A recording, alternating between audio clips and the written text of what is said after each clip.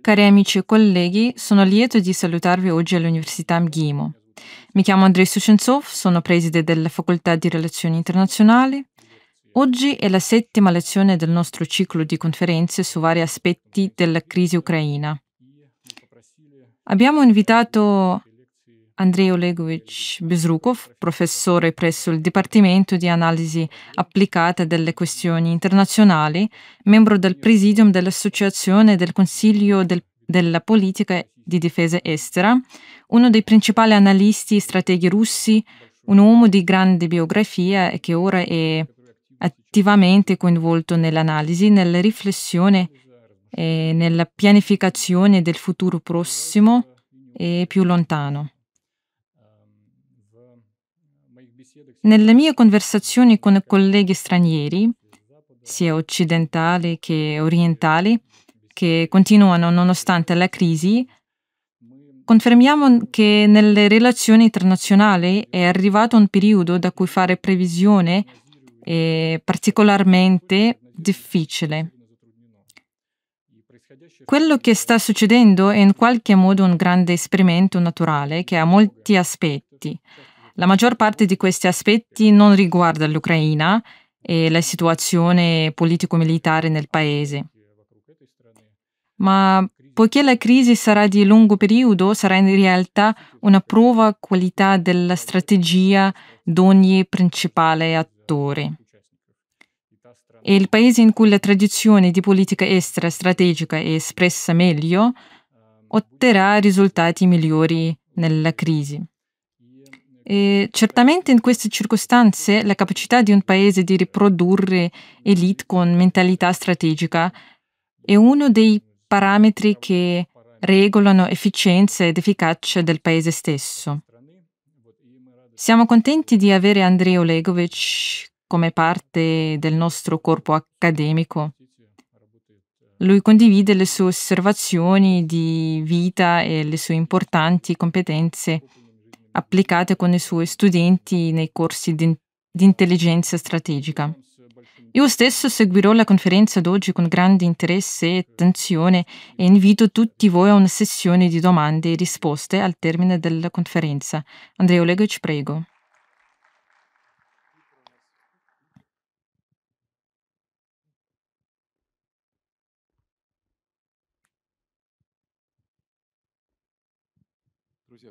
Buongiorno amici, è un gran piacere vedervi in una sala così bella.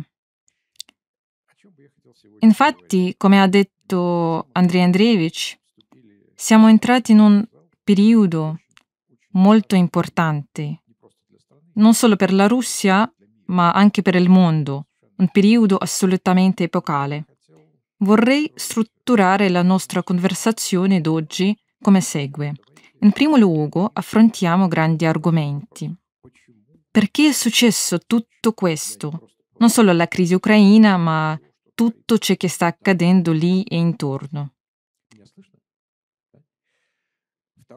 In secondo luogo, parliamo di come siamo arrivati direttamente a questa crisi e di chi ci ha portato.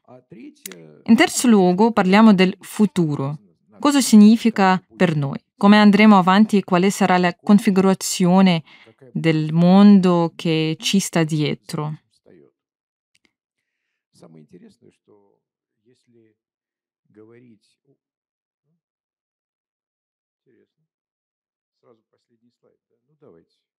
Можно и последний слайд,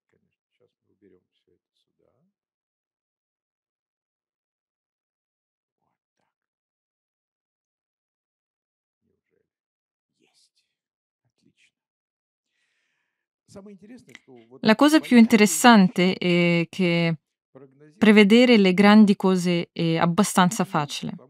Questo è così perché abbiamo precedenti storici.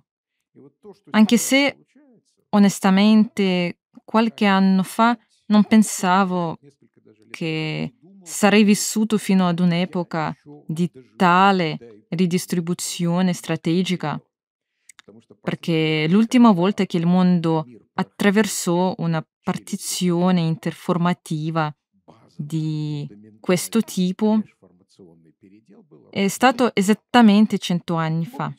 Vi ricordate cosa successe cento anni fa? La rivoluzione, che cos'altro? Risposte dal pubblico.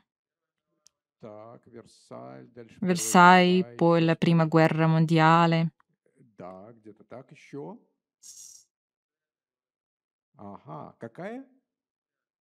La rivoluzione industriale, proprio così. Voi avete elencato tutto che volevo dire. In primo luogo, ci fu il salto tecnologico rivoluzionario. Ricordate che in quel periodo apparverò la prima radio, i primi aerei e con queste tecnologie abbiamo vissuto tutto il XX secolo. E ora stiamo entrando di nuovo in questo salto tecnologico interformativo. E quando tale salto avviene, rimodella l'intera economia di base su cui poggia il mondo. Alcuni paesi riescono a stare al passo col progresso tecnologico e vanno avanti, mentre altri non ci riescono. Allo stesso modo, cento anni fa ci furono due imperi che tennero insieme il mondo, quello francese e quello britannico. E ci furono gli sfidanti, in primo luogo gli Stati Uniti e in secondo luogo la Germania. A proposito, tutti dimenticano gli Stati Uniti. Sono stati i principali sfidanti di questo sistema. Questi paesi sono quelli che hanno guadagnato di più dalla ridistribuzione del sistema e la Germania era quella che l'ha distrutto. E da quel momento è iniziata la distribuzione del mondo. Non vi fa ricordate quella di oggi? Il sistema centrale costituito attorno agli Stati Uniti e dall'Occidente che non riesce a tenere il passo con lo sviluppo tecnologico della Cina e dell'Oriente, inizia ad andare dietro e poi cade nella trappola di Tucidide. L'Occidente non può più aspettare di diventare una regione marginale, deve giocare l'ultima carta e tenta il tutto per tutto, ne siamo testimoni. E naturalmente, oltre alla ridistribuzione del mondo, ci fu una crisi sociale che diede vita a tutte quelle rivoluzioni. Non solo la rivoluzione in Russia, ma anche quella che attraversò tutto l'Occidente. Se si guarda il quadro più ampio, e ora stiamo entrando in un'altra depressione, se si guarda quel periodo quella profonda depressione nel mondo occidentale per poco non finì con la rivoluzione negli Stati Uniti. Ci furono numerose vittime della carestia, di cui ovviamente non si vuole parlare, ma ci furono comunque. E se non fosse stata per la politica di Roosevelt, la perestroika e la seconda guerra mondiale, non sappiamo come sarebbe andata a finire.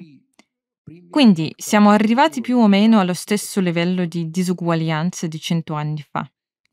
Ed è molto grave. Sta iniziando a influenzare attivamente la politica. La domanda che sorge spontanea è chi vincerà? Il vincitore sarà colui che potrà costruire una nuova economia, difendere la propria posizione geopolitica e soprattutto non distruggere il proprio Stato, non distruggere la struttura sociale su cui questo Stato è stato fondato. E ora stiamo entrando in un periodo di turbolenza, quando inizia la ridistribuzione del mondo, quando inizia la ristrutturazione dell'economia e di tutta la politica sociale, perché nella nuova formazione ci sarà un'altra economia e un'altra politica sociale. Ma noi non lo vediamo ovviamente come le persone che nel 1914 andavano ancora sui carri non avevano idea che in 30 anni, con due guerre mondiali e la depressione del 1945, avrebbero avuto voli transcontinentali, due potenze nucleari e l'ONU. Tra qualche anno o decennio non credo che siano 30 anni, ma molto prima avremo un mondo completamente nuovo di cui voi, presenti qui, sarete responsabili. ну. А. Я буду сидеть у камина, попивать виски и думать о будущем. Но уже не более того. А вам придется Dovrete sgomberare le macerie o costruire qualcosa di nuovo, ma in ogni caso sarà un problema vostro, del vostro paese e del vostro mondo. Vediamo ora le sfide che devono affrontare coloro che gestiscono il mondo in questo momento. Sono sfide molto serie. Tre crisi in progressiva evoluzione che sono legate alla transizione e ridistribuzione. La prima è ovviamente quella economica. La vecchia economia non funziona. Di 10 dollari investiti nell'economia attuale, due creano qualcosa. Il resto va solo a vuoto nel mercato finanziario. In questo caso, se il problema appare, è una perdita di tutto. Non c'è alcun effetto. E vediamo quello che si chiama un governo affamato, che non ha soldi, che ha promesso molto a tutti negli anni di successo e ora sta limitando i programmi sociali, ora sta cercando di sopravvivere in qualche modo, tassando sempre di più la popolazione, ma naturalmente la gente non lo vuole. E ovviamente c'è una lotta per i mercati, se si sta perdendo la capacità di produrre qualcosa, allora strappiamola ai concorrenti. Ricordate con che cosa ha cominciato Trump arrivato al potere negli Stati Uniti? Lo scambio non equivalente con Canada e Messico, revisione dello scambio non equivalente con l'Europa, con la Cina, revisione, pressione, eccetera. Questa lotta per i mercati continuerà e si intensificherà. Non parlerò di politica, la sapete tutti molto bene. Il mondo atlantico se ne sta andando e sta arrivando un mondo completamente diverso. Ma la cosa più importante non è nemmeno che l'equilibrio si sia rotto e che nessuna delle istituzioni create nell'era precedente funzioni più, ma che la base su cui si fondava la, uh, la dominazione uh, coloniale occidentale sia scomparsa. E questa base è molto antica, ovvero la superiorità tecnologica militare. E l'Occidente ce l'aveva più o meno dall'epoca di Colombo, cioè da 500 anni quando sorgevano problemi tra l'Occidente e altri paesi che non potevano essere risolti politicamente o commercialmente. Era coinvolta la forza militare e tutto si gestiva a favore dell'Occidente. E questo che permetteva all'Occidente di imporre il suo gioco al mondo intero. Non è più così. Questo succede non perché la Russia abbia, ad esempio, una capacità nucleare di cui si deve tener conto. È solo che l'Occidente e l'Oriente in termini di basi tecnologiche e militari sono quasi uguali. Guardiamo all'esercito coreano di Singapore, non sono inferiori a nessuno degli eserciti europei, tedeschi o britannici, e a volte sono persino tecnologicamente superiori. L'Occidente non ha più queste buone carte. Infine, la terza è la crisi sociale, quando lo Stato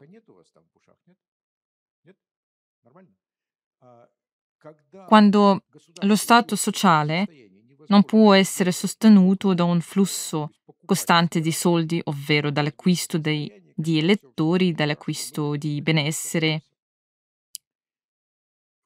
Nascono tensioni sociali. La tensione sociale si manifesta sempre con rivoluzioni impreviste. Quando c'è questa tensione sociale che ha raggiunto lo stesso picco di cento anni fa, c'è già questo precariato inquieto.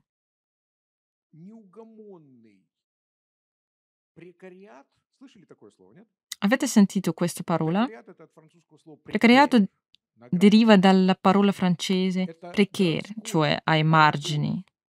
È una società urbana giovane, molto attiva, si trova sui social media, ma non vede prospettive a lungo termine. Questa giovane società passa da un lavoro a un altro, non sa cosa succederà dopo, in pratica non ha soldi su cui contare ed è pronta ad andare contro qualsiasi cosa. Non si sente a proprio agio in questa società e va dietro Trump, la Brexit, l'indipendenza catalana, non importa. Lo vediamo ovunque.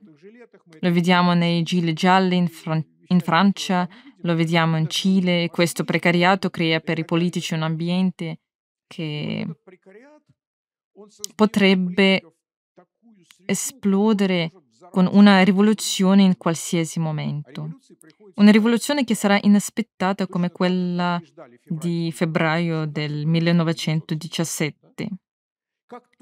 Non appena la società, scossa dalla guerra, non ha mantenuto la situazione, è successo un crollo.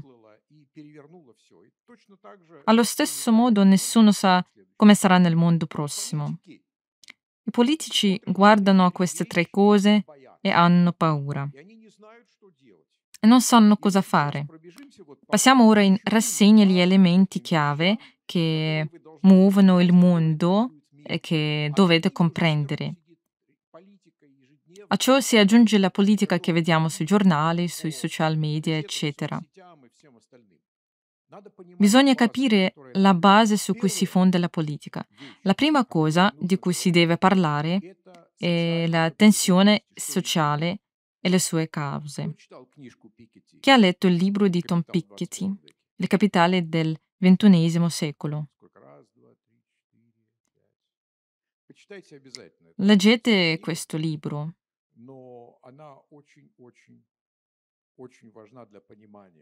È molto importante. Nel suo libro Piketty ha esaminato 300 anni di statistiche sulle dinamiche del, del, del lavoro e del capitale e ha ricavato una formula denominata R è maggiore di G. R è il ritorno sull'investimento, ciò che i ricchi ottengono con i loro soldi, e d'altro canto è G, la crescita, ciò che corrisponde più o meno alla dinamica della crescita dei salari. E negli ultimi 300 anni il rendimento del capitale è sempre stato superiore a quello del lavoro, tranne in un punto. Se si guarda questa linea curva rossa, si nota il picco di tensione nel 1914, l'attuale picco di tensione firmato Biden, e il crollo degli anni 40, 50 e 60. Si tratta di una flessione delle tensioni sociali. Perché è successo? In primo luogo a causa del colpo al capitale. Due guerre hanno distrutto fisicamente molto capitale. Poi gli stati, mobilitando le risorse per la guerra, hanno tassato lo 0% dei ricchi. Ma questa tassazione non è terminata con la fine delle guerre, è continuata praticamente fino agli anni Ottanta. e ha permesso di realizzare tre cose. Ha creato una classe media che ha cementato le relazioni sociali. È emerso cioè un gruppo di persone che volevano la stabilità. Ha creato un sistema politico piramidale che ci è stato venduto come un manifesto della società occidentale, dove tutto va bene, dove tutto è giusto, ha creato un trentennio di crescita continua, perché se si danno soldi a coloro che non ne hanno molto, li spendono immediatamente. Questa crescita economica si è conclusa con la crisi degli anni 70 e successivamente con Reagan l'economia ha iniziato a gonfiarsi. hanno iniziato a gonfiare l'economia con soldi. Non, funzion- non funzionava più correttamente senza gonfiarla con soldi. Siamo arrivati a questo secondo picco, ma non sappiamo cosa accadrà in seguito. Se gli stati e gli oligarchi finanziari si comportano come si sono comportati negli ultimi trent'anni, ci sarà un'esplosione sociale, proprio come è successo in passato. L'unica possibilità è che i governi rin- rinseviscano, tornino a mettere mano alle tasche dei ricchi e inizino a ridistribuire i soldi nelle società, riducendo le tensioni sociali, creando una classe media, creando crescita attraverso una vera politica industriale, creando posti di lavoro. Se non lo fanno, ci sarà un'esplosione.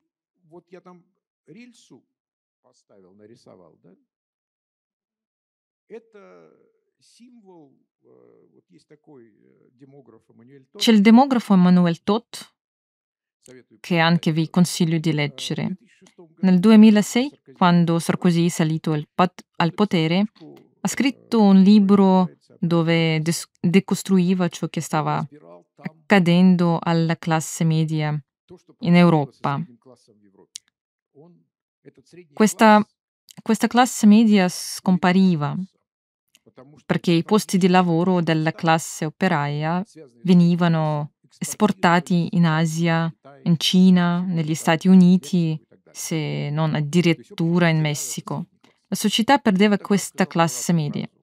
E poi ha detto una frase alata che ricordo ancora. Una società in cui la demografia sociale assomiglia a un binario, cioè un grande strato di ricchi con una classe media debole e sotto la plebe urbana che non capisce dove la portano. In questo caso lo Stato può essere lo Stato può essere gestito solo da due tipi di persone, o da dittatori o da pagliacci. Per pagliaccio intendeva Sarkozy, che ha fatto molto, molte cose per il pubblico. Era tutto bello, dinamico. Ora in, al- in alcuni paesi ci sono pagliacci professionisti che fanno la stessa cosa ogni giorno in modo bello e dinamico, ma il nocciolo della questione non cambia. Sono intrattenitori. Quello che succederà se gli stati non faranno nulla. Avrete visto sia Hunger Games che Joker, eh, che ci sarà una società in cui da una parte ci sarà un giardino dell'Eden e dall'altro ci sarà un sacco di persone non richieste a cui verrà dato un salario minimo per uh, non, f- non farle morire di fame. Gli daranno i social network e gli metteranno davanti un televisore da guardare.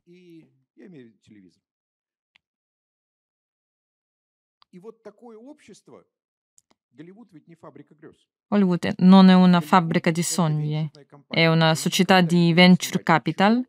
Non girerà mai qualcosa che non avrà un impatto sullo spettatore, ma girerà ciò che lo spettatore apprezzerà. Perché ne parlano? Perché lo spettatore è pronto a vedere questa distopia, ne ha paura.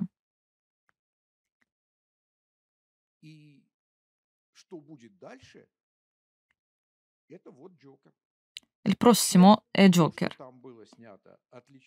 In che modo gli eventi accaduti la scorsa estate a Seattle o a Portland o sono diversi da quelli del film. Succede la stessa cosa, le persone escono e distruggono tutto quello che c'è intorno. Il precariato urbano. E questo è uno dei problemi di fondo. Ci sarà un'esplosione sociale. Allora, cento anni fa, la Russia era un elemento debole. Ed è stata la Russia a esplodere. Ma ora la Russia non è l'elemento più debole, ci sono elementi più deboli come l'America Latina, c'è il uh, grande Medio Oriente dove le relazioni sociali sono ancora peggiori, il livello di disuguaglianza è ancora più alto, così come il livello di passionalità dell'Islam. Tuttavia il Medio Oriente è in fiamme da molto tempo, quindi il fusibile è già presente. C'è qualcosa da bruciare nel mondo.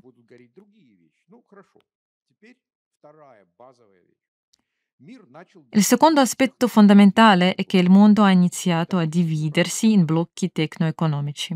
Si tratta di un processo oggettivo. Quando abbiamo un sistema globale, con un unico centro ottimizzato per il ciclo politico ed economico che si sta concludendo, sorge la domanda. Come sarà il sistema di relazioni interstatali e di altro tipo nel prossimo ciclo? Chiaramente sarà diverso, ma non sappiamo di che tipo.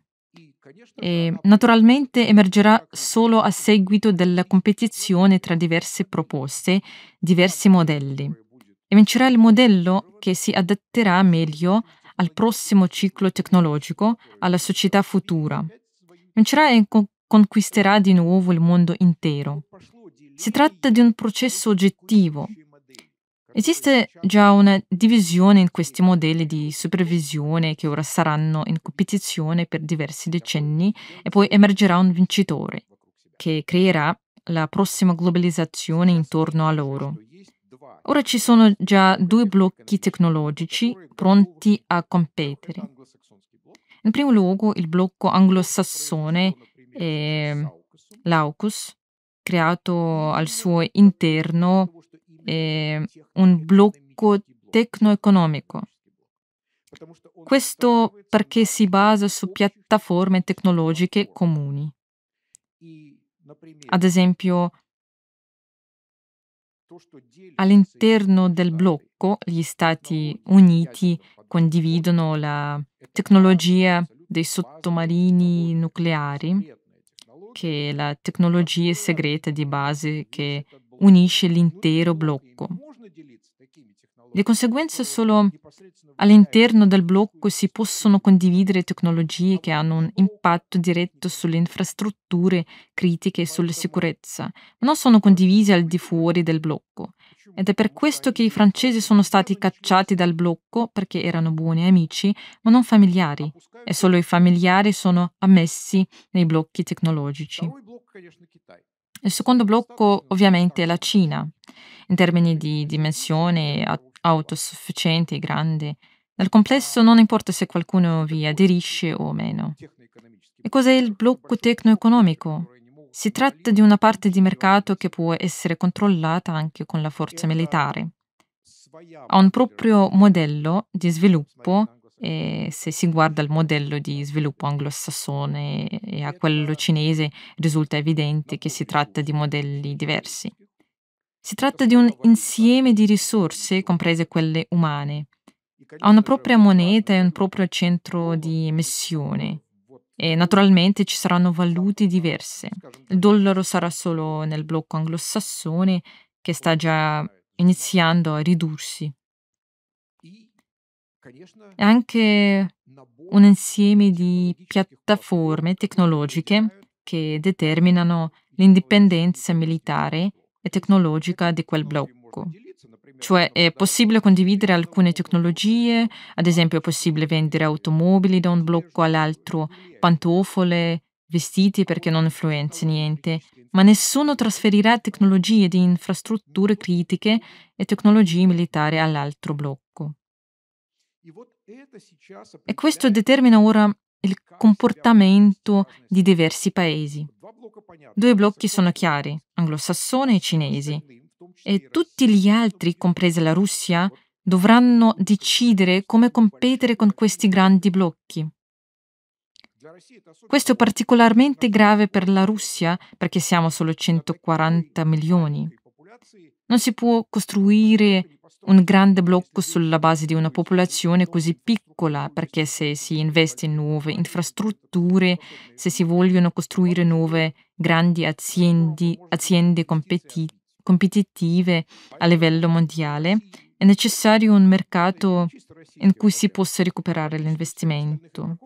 Non si tratta quindi di un problema esclusivamente russo, quasi tutti gli altri attori hanno esattamente lo stesso problema, ad esempio il Giappone perché non ha una massa critica e l'Europa occidentale non ha una massa critica, anche India e Turchia non ce l'hanno. In altre parole, tutti questi paesi dovranno negoziare su alleanze tra loro per costruire una sorta di un blocco autosufficiente che può competere con gli altri. E questo è il processo a cui assisteremo nei prossimi 20 o 30 anni. Sarà un processo di formazione di questi spazi. La cosa più interessante è che si formeranno su spazi tecnologici, su piattaforme tecnologiche, su quelle già esistenti, ad esempio. Tra l'altro, la guerra ha mostrato molto chiaramente che la piattaforma tecnologica di qualcun altro può essere chiusa in qualsiasi momento. In altre parole, nello spazio delle infrastrutture critiche e dei media, ciascuno dei grandi blocchi dovrà creare le proprie piattaforme e i propri contenuti. È una questione di sicurezza, di, di sicurezza nazionale.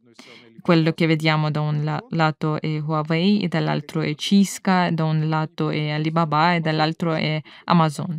Naturalmente non, ci, non, si lasciano entrare da nessuna parte, non lasciano entrare Amazon in Cina, non lasciano entrare Alibaba negli Stati Uniti.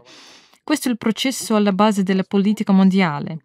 Viene, di, viene da chiedersi con chi ci uniremo, nel ciberspazio la divisione della torta digitale tra le grandi piattaforme è appena iniziata. Non è stato ancora deciso nulla in merito. È un ambiente dinamico in cui ci sono solo problemi e non ci sono soluzioni. Come si concilia la trasparenza delle catene tecnologiche quando si produce un iPhone in Cina lo si progetta negli Stati Uniti, si produce il chip a Taiwan, eccetera. E tutto questo deve basar, basarsi su sistemi digitali che trasferiscono le informazioni istantaneamente. Questa è l'efficienza del processo e se ogni paese vorrà controllare i dati, parliamo anche di sovranità dei dati, di sovranità dei sistemi, giusto? È così che si, è così che si concilia. Il fatto che il ciberspazio stia diventando un campo di battaglia lo abbiamo visto in questi tre mesi. Prima era ovvio. Molto probabilmente non potremo evitare una corsa agli armamenti nel ciberspazio se non una guerra, perché le aziende più interessate a una corsa agli armamenti nel ciberspazio sono proprio Microsoft e Google. Da un lato hanno abbastanza soldi per comprare le soluzioni giuste e dall'altro c'è così tanto denaro da guadagnare con la guerra informatica che la generazione atomica di politici e militari non poteva nemmeno sognare. Se siete in grado di contare il numero di testate nucleari e di riferire quanti soldi sono stati spesi per realizzarle, provate a spiegare a qualche politico quanti soldi, quanti soldi sono stati spesi per scrivere un milione di linee di codice. Non lo capiscono lo stesso. Perciò questa corsa agli armamenti non si ferma. Della lotta fra piattaforme e standard digitali ne abbiamo già parlato. E ora c'è un'altra crisi di base. È una questione ambientale. Guardate, due immagini a sinistra sono il livello di inquinamento, quelle rosse e vedete che questa striscia arriva fino al sud della grande Eurasia e parte dell'Africa. e l'immagine in basso è il tasso di aumento dell'inquinamento. Due immagini a destra rappresentano la crescita della popolazione nelle aree urbane e sotto il tasso di crescita della popolazione. E se si combinano queste due immagini si può notare che questa crescita esplosiva della popolazione sta avvenendo nelle aree più disagiate del mondo, dove già non ci sono terreni coltivabili adeguati né acqua pulita a sufficienza. Tra l'altro in molte zone come l'India si sta verificando un altro shock termico. Quando la temperatura è inferiore a 50 gradi con eh, un'umidità del 100%, non si tratta di giorni ma di settimane. Ci si chiede già se sia possibile vivere in un clima del genere. Allo stesso tempo la stessa regione sta diventando sempre più industrializzata. È importante notare che non si sta industrializzando secondo gli standard europei. L'industrializzazione è davvero disordinata. Voglio dire, immaginate, nei luoghi più sporchi e inquinati la popolazione cresce, crescono città enormi senza infrastrutture normali o sicurezza. Le stesse città presentano una mescolanza di gruppi religiosi, etnici, sociali, un terribile contrasto tra ricchi e poveri e altri problemi. Basta una scintilla per far saltare tutto in aria. E sta già saltando. Guardate cosa sta succedendo nello Sri Lanka. E questo è solo l'inizio. Un po' più tardi ci sarà una carestia perché l'Europa occidentale con la sua inflazione pagherà il suo pane. Hanno i soldi. E il Medio Oriente, paesi poveri del Medio Oriente, di tutto il sud-est asiatico dell'Africa, dove troveranno i soldi? Quanti milioni di persone affamate ci saranno e a chi chiederanno il pane? Cosa accadde in Egitto quando non ci fu pane per alcuni giorni? O cosa è successo a San Pietroburgo quando è mancato il pane per alcuni giorni? Vi ricordate? In altre parole, un futuro bello è davanti a noi. Inoltre, nella stessa regione che di fatto è già seduta su una bomba ambientale e demografica, ne sta emergendo un'altra di natura politica. Guardate, queste linee tratteggiate, tratteggiate sono linee di rotta della civiltà tra India e Cina. Questa linea di rotta ha 5.000 anni. Tra la civiltà insulare e la civiltà tradizionale, questa è la questione di Taiwan, questa è la, la questione della competizione tra Giappone e Cina, Vietnam e Cina. Si tratta di sciiti e sunniti, anche c'è una rotta. Queste linee rosse che si intersecano sono solo la competizione da un lato con la Cina, che entra in Africa, e dall'altro con le civiltà indiana e araba, che hanno sempre considerato l'Africa orientale come un loro feudo per quasi mille anni. Mentre la Cina vi va attivamente a costruire basi lungo le rotte commerciali verso l'Europa, l'India ha dichiarato che sua, il suo territorio di responsabilità è l'intero oceano india, indiano. Come pensate di conciliare questa situazione, soprattutto quando prende fuoco? Ora siamo arrivati alla crisi di partenza, la crisi ucraina.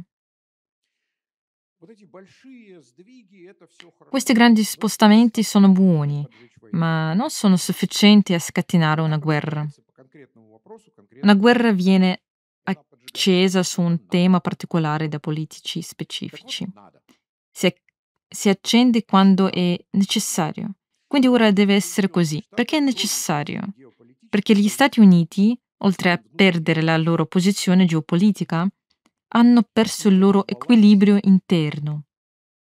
Il mantenimento di questo equilibrio è sulle spalle di ogni politico che sale al potere. Cosa sta succedendo lì? Gli Stati Uniti stanno entrando in un periodo di profonda crisi istituzionale. Ne usciranno, ma tra dieci anni. Al momento non ci sono ancora, ma lo saranno molto presto. Lo si sente già. Non c'è nulla di nuovo in questa crisi. Questa è la terza crisi per loro. Ogni cento anni entrano in una crisi di questo tipo. Se si guarda allo sviluppo degli Stati Uniti, ci sono tre fasi istituzionali. La prima va dalla guerra d'indipendenza alla guerra civile, quando si decise se gli Stati Uniti sarebbero stati uno Stato unitario o un insieme di Stati. La questione è stata risolta con la guerra.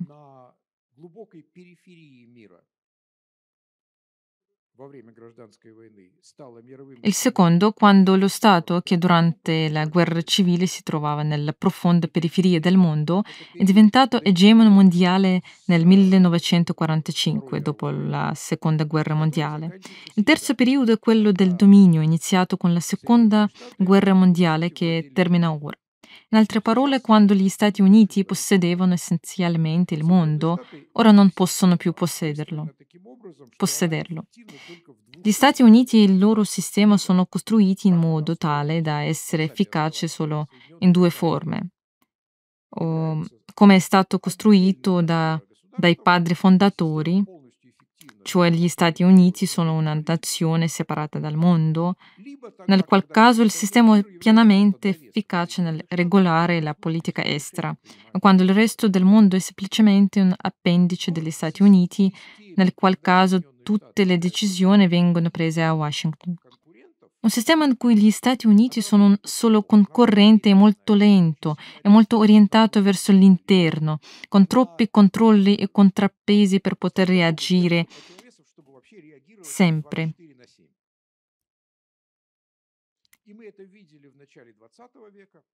Lo abbiamo visto all'inizio del XX secolo, quando gli Stati Uniti sono entrati in Europa e poi ne sono fuggiti rapidamente perché non riuscivano a raggiungere il loro obiettivo, oggi vediamo la stessa cosa. Tuttavia è una favola. Cosa si sta facendo davvero? Perché c'è una crisi negli Stati Uniti e come si manifesta? In primo luogo si manifesta nel fatto che un'elite oligar- oligarchica coesa ha iniziato a combattere tra di loro. Quando iniziano a litigare tra di loro, allora lo Stato onesto, dove per esempio c'era l'opportunità per un uomo senza molti soldi di vincere in, in tribunale contro una grande società, questa opportunità, questa opportunità non esiste più. Perché, perché una parte dell'elite inizierà a usare lo Stato contro l'altra parte dell'elite. Questo l'abbiamo visto nelle elezioni dello scorso anno.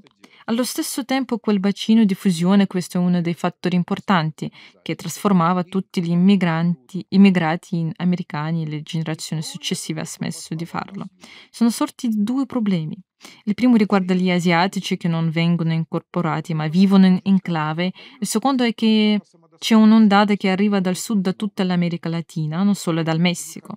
Anche questa ondata non si incorpora in alcun modo perché è autosufficiente. In primo luogo sono molti, in secondo luogo le persone sono unite da una solo, sola religione, da una sola cultura. Vorrei ricordare che il cattolicismo di chi viene dal sud è ancora più antico e appassionato del protestantesimo del nord. Se si guarda alle giovani generazioni della politica americana, ci si accorge che un'intera generazione di latinos, appassionati, intelligenti, dinamici, sta entrando nella politica americana, cioè quello che la popolazione di colore non è mai stata in grado di fare perché non è mai stata interessata a entrare nella grande politica se non per alcune persone giovani latine sono stati in grado di farlo. Sono riusciti a inserirsi perfettamente nella politica americana e, farla, e a farla propria. Un processo che dobbiamo ancora vedere. Nei prossimi 10-15 anni assisteremo alla latinizzazione degli Stati Uniti. In altre parole, tra 10 o 15 anni, nella prossima generazione, gli Stati Uniti saranno molto più latinizzati che atlanticizzati. Cambierà anche la politica estera, perché a queste persone non interessa il confronto con la Russia, uh, non ne capiscono il motivo, non hanno problemi con la Russia, a differenza ad esempio degli europei dell'Est polacchi, tedeschi, eccetera, presenti oggi nell'establishment statunitense. Inoltre c'è una popolazione sazia che cessa di essere sazia. Non vorrei andare in particolari su questo punto, è abbastanza ovvio. Infine, tutto questo ha un impatto sul sogno americano, cioè se prima i genitori capivano che se avessero lavorato bene e vissuto onestamente, i loro figli avrebbero avuto una vita migliore. Ora non solo non è garantita, ma i figli dicono: Guarda, ci hai scaricato tutti i tuoi di- debiti, ma vai in giro per il mondo con la tua pensione e non riusciamo a trovare lo lavoro. Se lo troviamo, dobbiamo ancora restituire i 200.000 che sono stati presi per l'istruzione, eccetera. Quindi questo sogno americano sta diventando sempre meno, questo è il problema. Quando c'è un problema nel paese inizia la lotta dell'elite, dell'elite. Sorgono domande, dove ci hai condotto, di chi è la colpa?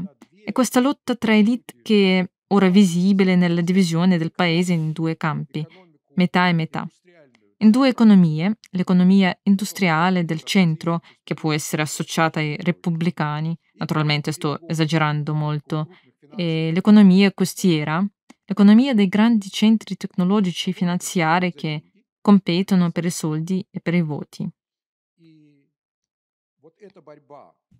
Questa lotta tra la borghesia finanziaria globale la borghesia imprenditoriale reale non è americana, è globale. In America è solo più evidente. Nel nostro paese è esattamente la stessa cosa. Dopotutto, ricordate cosa avevamo quando eravamo staccati da tutti i sistemi occidentali? Le più ricche erano le nostre banche, giusto? Sberbank realizzava profitti record ogni anno e poteva investire in qualsiasi cosa. D'altra parte, però, le imprese reali non potevano nemmeno prendere in prestito soldi perché era possibile farlo solo a tassi di interesse esorbitanti. Cioè, se la vostra attività ha un margine del 10%, vi viene offerto un prestito al 15-20%. Che senso ha prendere in prestito denaro in un caso del genere? Cioè, il dominio dell'oligarchia finanziaria è presente non solo nel nostro paese, ma in tutto il mondo. E questo sistema che sta per crollare. Negli Stati Uniti è in fase di rottura, ma l'hanno appena rotto per noi e lì ringraziamo molto per questo. Dietro di esso il sistema politico sta crollando, questo consenso finanziario e oligarchico era di destra liberale. Lo chiamo il consenso di Davos, con lo slogan I soldi vincono il male. Ora sta crollando con Sanders che porta i liberali di destra ai liberali di sinistra, il Partito Democratico sempre più giovane e radicalizzato e Trump che porta i liberali di destra ai conservatori di destra. Queste persone, questi due gruppi leader 50 per 50, si sono trovati in angoli diversi e non hanno nulla in comune. Non riescono a mettersi d'accordo su nulla perché se uno di loro sale al potere si rendono conto che l'altro gruppo sarà semplicemente tagliato fuori da tutto. Ecco perché c'è una lotta così feroce. Questa lotta continuerà. La politica statunitense interna diventerà sempre più acrimoniosa, le elezioni saranno sempre più disordinate lo vedrete alle elezioni del congresso e alle prossime elezioni presidenziali. saranno ancora peggiori di quelle precedenti. Di cosa hanno bisogno i politici in una situazione del genere? Una piccola guerra vittoriosa. E se si guarda lontano, per metterlo in prospettiva, si può averne una grande.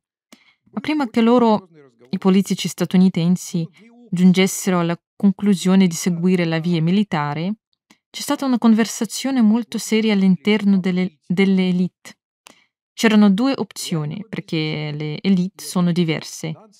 Stavamo parlando della vera elite imprenditoriale e dell'elite finanziaria, dove ci sono diverse fazioni, diverse opinioni.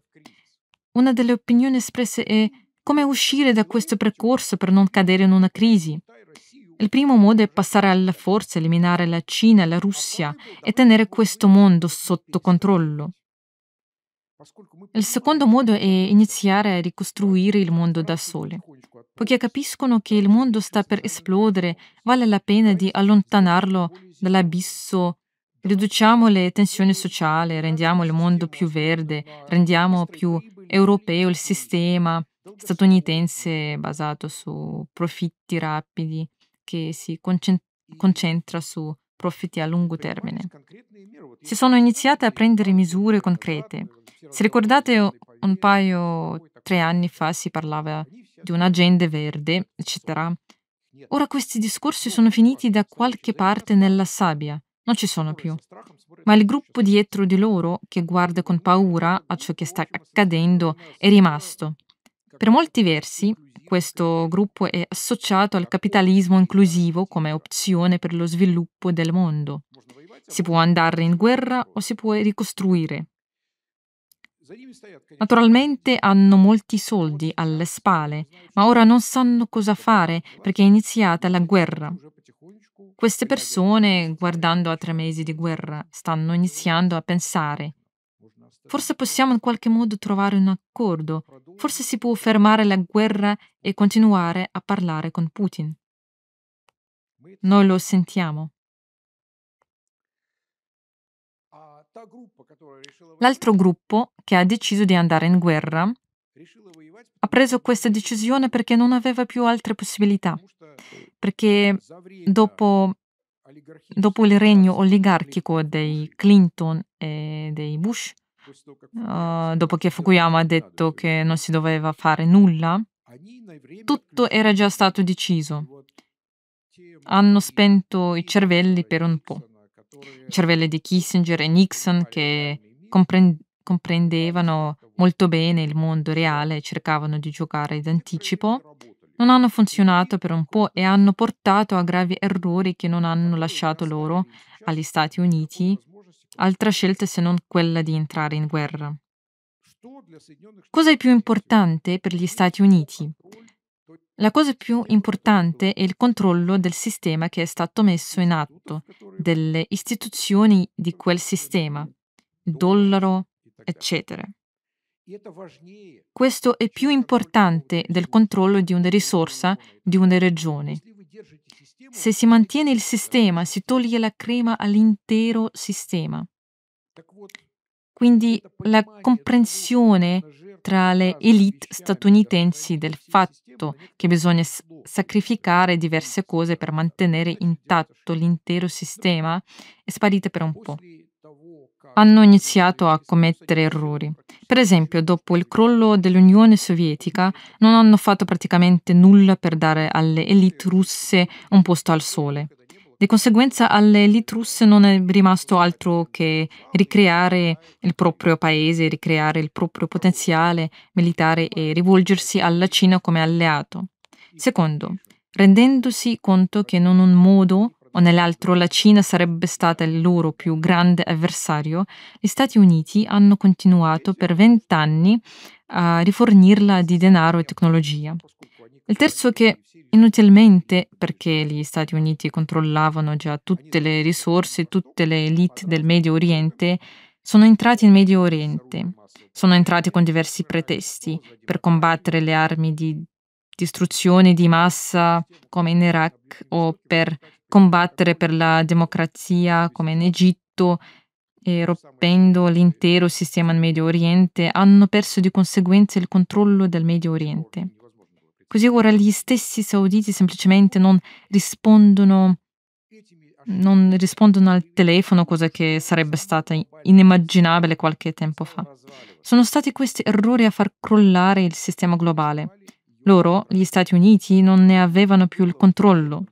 È diventato ovvio che era necessario ricrearlo militarmente, questo, questo controllo, con la forza, eliminando in qualche modo i principali concorrenti. Per la Russia è stato il momento della verità quando gli Stati Uniti hanno giocato l'ultima carta e hanno iniziato a usare l'Ucraina come ariete contro la Russia. Per la Russia è stato molto difficile, difficile fare. Era un'opportunità per difendere il proprio posto nel mondo. Mettere sul tavolo le vostre carte vincenti il 15 dicembre e rinunciare a quella vergognosa pace di Brest numero 2. Quando abbiamo perso metà del paese, la cultura, l'elite, quando siamo diventati essenzialmente un appendice degli Stati Uniti. Sovrano, ma essenzialmente un appendice nella tecnologia, nella cultura, nell'istruzione e in molti altri settori. Guardate la cultura. Che cosa di geniale a livello di ciò che è stato creato nella Russia del XIX e XX secolo è stato fatto nelle culture negli ultimi vent'anni, oltre a Bradue. Quello che vediamo, il programma più popolare The Voice, è una copia di un programma britannico. Il programma Vecerni Urgant è una copia di sitcom di serata americani. Non elencherò nemmeno gli altri, li conoscete molto bene. Che c'è di nostro? Che Ven è ancora un progetto sovietico, quindi non ce ne sono tante di queste nostre cose. Finora però ne ha beneficiato la Cina ovviamente. È iniziata una guerra, una nuova guerra. Questa guerra è diversa. E finisce sempre così, quando aspettiamo una guerra ne viene fuori un'altra. La guerra si espande e cresce, si sviluppa in spazi diversi, in primo luogo nel ciberspazio, nello spazio, con il sistema di Musk, con la TV di Zelensky, con gli attacchi informatici, eccetera. Dall'altro lato, questa nuova guerra si addentra in nuovi principi fisici. Da un lato i laser e soprattutto i biolab che ci hanno circondato da ogni parte, esattamente come la Cina. Quando ad esempio arriva da te una zanzara che sembra uguale alle altre, sembra ti punge e allora non avrai più figli. È bello, vero? Pulito, è bello e nessuno viene ucciso. Naturalmente tutta la lotta riguarda l'economia, la finanza, le ideologie e tutto il resto. Non c'è più un fronte, un retro. Civiltà, le civiltà sono essenzialmente in guerra. In altre parole, quella a cui stiamo assistendo è una guerra di civiltà tra culture occidentali e non occidentali. E quando dico cultura non occidentale non intendo necessariamente la Russia, perché guardate chi ha sostenuto la Russia e chi per, pur sostenendo l'Occidente non ha sostenuto la Russia. Devo osservare che sostenere la Russia con tutte le pressioni che vengono esercitate su di essa non significa necessariamente fare qualcosa per la Russia, significa anche non fare nulla per conto della Russia. E questo è il resto del mondo. Quasi tutti i paesi che sono stati colonizzati non, non hanno fatto nullo, nulla di male alla Russia. Alcuni hanno persino fatto del bene. Un'interessante divisione tra Occidente e non Occidente. Questa lotta riguarda i valori. Quello che vediamo ogni giorno è una lotta di valori, una lotta di atteggiamenti, una lotta di chi è buono e chi è cattivo. È una lotta per la storia, un aspetto particolarmente evidente nei paesi baltici. I russi erano occupanti o liberatori, cioè passa dentro di, un, di ognuno di noi. Questa è una guerra completamente diversa. Sarà la vostra guerra. Questo è il tipo di guerra che combatte combatterete. Cosa possiamo dire di questo? Da un lato devo sinceramente congratularmi con i nostri amici americani, tra virgolette ovviamente, e con gli avversari che in effetti in modo molto britannico sono riusciti a realizzare una combinazione molto bella, una combinazione di diamanti. Come è possibile mettere la discordia fra nazioni fraterne, far litigare la Russia con l'Occidente, rallentare lo sviluppo della Russia per alcuni anni mentre noi ricostruivamo, facendo tutto questo in un colpo solo, farlo in modo tale che non potesse sfuggirlo. Si faceva aggravare la situazione, l'Ucraina si preparava, poi tutti i negoziati, gli accordi di Minsk, eccetera, e poi hanno portato alla guerra. Non ci vi è d'uscita. Dobbiamo combattere. Bellissimo, alla britannica. Ma dopo aver ottenuto una magnifica vittoria tattica, hanno pagato con la loro più grande sconfitta strategica. Perché iniziando questa guerra hanno messo fine alla cosa più importante, al controllo del sistema globale. Nei prossimi anni vedremo crollare tutte le istituzioni occidentali attraverso le quali il mondo era stato controllato. Non parlo nemmeno del movimento olimpico che non c'è più. Poi ci sono tutte queste Eurovisioni, tutti questi accordi che sono degenerati in un anno dalle armi chimiche e qualsiasi altro, il dollaro, il sistema finanziario, quando, quando ti hanno derubato non le tue riserve d'oro, ma le tue fortune finanziarie. Tutti hanno capito tutto. Non esiste un sistema del genere. Passeranno alcuni anni e ne prenderà forma un altro. La domanda sorge, come sarà il mondo in cui vivrete, almeno per i prossimi vent'anni? Esistono tre tipi di, fu- di futuro.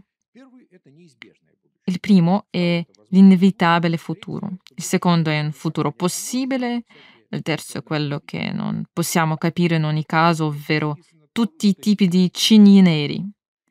Quindi ciò che è scritto qui, questi quattro fattori sono tutti l'inevitabile futuro, è già accaduto, tutto si sta già svolgendo il primo, ci sarà una crisi economica strutturale associata alla transizione da una formazione all'altra e alla disgrega- disgregazione del mondo in, region, in regioni concorrenti che stiamo già vedendo. Ciò significa che nei prossimi anni continueranno a crescere rivalità di ogni tipo, ideologiche, commerciali, militari, eccetera. Il secondo, c'è una rottura e una ridistribuzione del mondo per l'influenza con la forza. Chi costruirà il prossimo, il prossimo sistema? Chi saranno i protagonisti?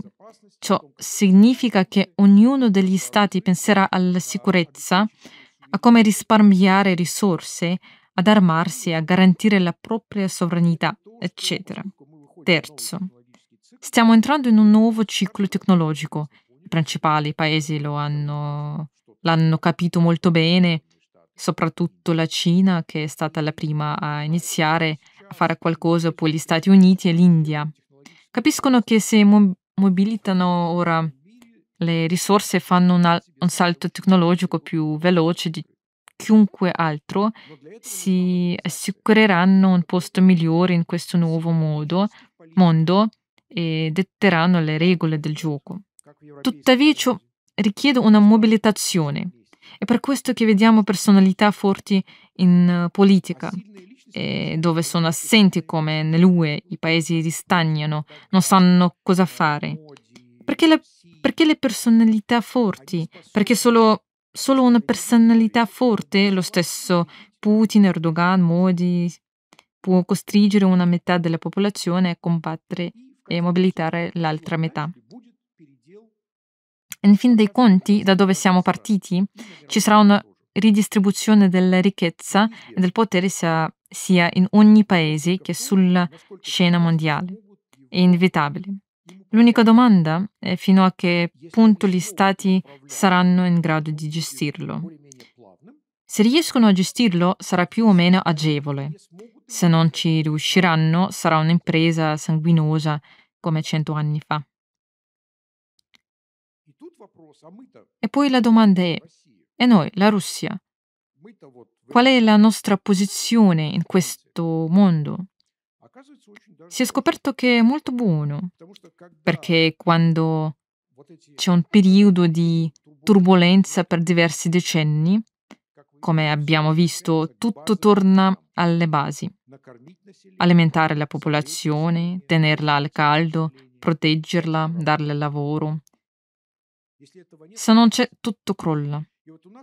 Abbiamo sorprendentemente queste buone carte nei prossimi anni diventeremo una grande potenza agricola. Possiamo triplicare la nostra produzione agricola ad un livello tecnologico elevato. Alimentiamo il mondo, quel mondo affamato che brucerà, noi lo alimentiamo. A proposito, per un sacco di soldi. Venderemo prodotti biologici all'Europa occidentale dato che la nostra terra non è ancora contaminata, ancora più costosi. Secondo, il mondo sta appena iniziando a strisciare verso la digitalizzazione e in California il 30% dell'energia è già destinato all'informatica. Ciò significa che sarà necessaria sempre più energia e che i paesi che non ne hanno non si dedicheranno alla digitalizzazione semplicemente non avranno abbastanza energia. Saremo ancora il più grande produttore di energia al mondo. Non importa di che tipo, verde, viola, nucleare, non nucleare, è sempre il più grande. Terzo, abbiamo collegamenti e corridoi tra due grandi regioni di produzione e consumo che non, che non bruceranno.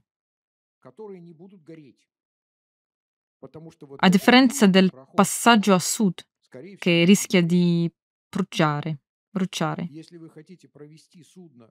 Se volete far passare una nave attraverso il corridoio sud, dovrete assicurarla a un costo triplo.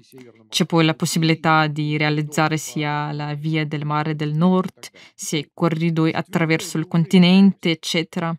Quarto, siamo già un esportatore di sicurezza e stabilità militare. Nei prossimi anni molto probabilme, probabilmente saremo anche uno dei maggiori esportatori di tecnologia, ovvero un esportatore di sovranità tecnologica in materia di cyber security, perché abbiamo una delle scuole di cyber, cyber security più forti. Come abbiamo detto, la guerra informatica sta arrivando e tutti dovranno costruire le proprie infrastrutture criti- critiche. Tra l'altro anche la Smart City è presente, è un'infrastruttura critica. Se si costruisce una città intelligente su piattaforme insicure, è meglio non costruirla affatto. Qualcuno verrà a spegnerla in inverno. In un giorno il vostro iPhone non funziona, in tre giorni tutto il vostro frigorifero è marcio, non c'è acqua, non ci sono fognature e fuori ci sono meno 10 gradi non è molto bello. Cioè, se non si dispone di una propria base di elementi, se non si sono costruiti sistemi in proprio, ma ci si affida a soluzioni e componenti altrui, è meglio non costruire una smart city. Così come tutte le infrastrutture critiche, comunicazioni, finanza, eccetera. Saremo uno dei maggiori esportatori di tutte queste soluzioni. Se si guarda in generale allo spazio che dovremo costruire, dovremo costruire uno spazio di sicurezza. Lo vedo in tre cerchi concentrici, la Russia stessa, la CSTO+, che ci circonderà alla periferia e i BRICS+. In altre parole, la nostra influenza come paese sovrano insieme ad altri grandi attori sovrani è il modo in cui costruiremo questo sistema il nostro spazio finanziario e le nostre piattaforme digitali che non saranno necess- necessariamente solo nostre, potrebbero essere con la Cina, ad esempio, o con l'India. Logistica, nuovi corridoi. Ora, ora i cinesi stanno costruendo soprattutto corridoi ovest-est, mentre noi costruiremo corridoi nord-sud, un corridoio attraverso il Caspio, il secondo corridoio di cui abbiamo parlato oggi, attraverso l'Afghanistan. Se ne parla già. E la politica. Dovremmo costruire queste istituzioni e assicurarci che all'interno delle Nazioni Unite, negli organi che influenzano effettivamente la politica, gli organi rimanenti, non vi sia una dominazione bianca, una minoranza bianca proveniente da Stati Uniti, Gran Bretagna, Canada, Germania, come avviene ora. Tutti ci dovrebbero essere presenti, dovrebbero esserci cinesi, indiani, brasiliani, giapponesi, non solo gli anglosassoni persone che ora dominano, dominano anche l'apparato. Le Nazioni Unite dovrebbero essere diverse. Le Nazioni Unite dovrebbero essere diverse, esattamente come tutti gli altri sistemi. Che cosa abbiamo? Abbiamo un'occasione storica, ci è stata data questa possibilità, siamo stati spinti, non possiamo non andarci. La crisi ucraina riguarda proprio questo. Si tratta del fatto che eravamo una periferia di materie prime, una fabbrica di talenti e ora stiamo diventando un attore nello sviluppo del territorio tra Oriente e Occidente. Eravamo un fornitore subordinato di ricchezza e ora saremo alla guida di una grande zona finanziaria, naturalmente la zona del rublo. Eravamo con le bombe nucleari, ma non eravamo degni una stretta di mano, eravamo intoccabili. La scimmia con la bomba, così forse ci chiamavano. Ora saremo uno dei tre o quattro attori principali che costruiranno il prossimo mondo. Sarete voi a farlo. Siamo stati vittime di questo modello economico che per 30 anni ci è stato infilato addosso e che non avrebbe mai potuto essere infilato perché non ci si adatta molto bene. Non è il nostro modello. Dovremmo costruire il nostro modello economico, culturale, ideologico e intellettuale. Mi rivolgo quindi a voi perché dovrete costruire concetti ideologici e politici per il mondo futuro. Non abbiate paura di farlo. Scrivete. Date suggerimenti, il mercato è aperto. Grazie.